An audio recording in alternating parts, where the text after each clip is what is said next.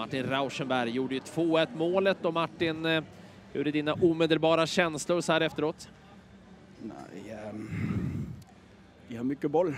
Visste de Häcken bra lag på den här bollen så nej. Um, vi har en liten period i första var vi, vi är okej, okay, får någon chans med lite mer kvalitet och tur kan vi också göra mål, men de gör mål 1-0. Så har det varit mycket den här säsongen har vi kommer och vi inte får ledning alltid, så det har varit lite jobbigt. Men så kommer vi bra tillbaka. Först bra, riktigt bra 30 minuter vi går upp och pressar dem i annan halvlek och får två mål ut där också. Så faller lite på slutet igen vad de har någon halvchanser. Så nej, det är 2-2 väl. Ser det objektivt så är det kanske okej. Okay. Du Martin, först och främst beskriv glädjen efter eh, 2-1 målet, ditt eh, första i årets allsvenska. Ja, självklart glädje. 2-1.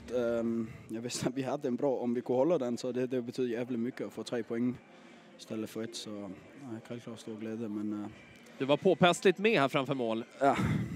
Kändes inte som att det var dig de riktigt bevakade där. Nej, det kanske det inte var det, men... 2-1 blev det.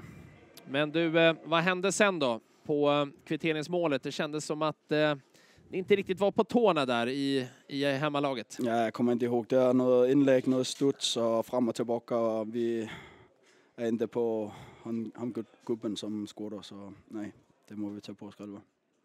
Du Martin, eh, ni tar i alla fall en poäng på Helsingborg den här helgen. Det är nio omgångar kvar. Eh, har ni energin att jaga in i det sista?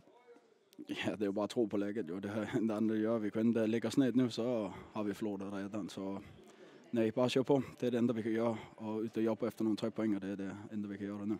Tack för ikväll. Tack.